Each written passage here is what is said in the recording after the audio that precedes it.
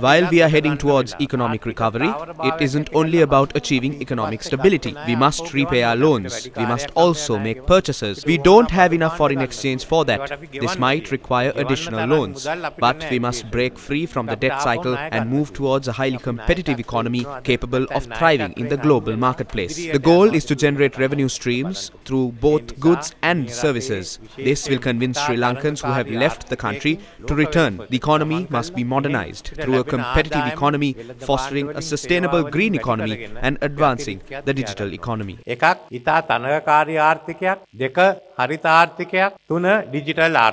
President Ranil Wickremesinghe expressed these views during the inauguration of the National Information Technology and Business Process Management Professional Exhibition at the Cinema Bandaranaike Hall today.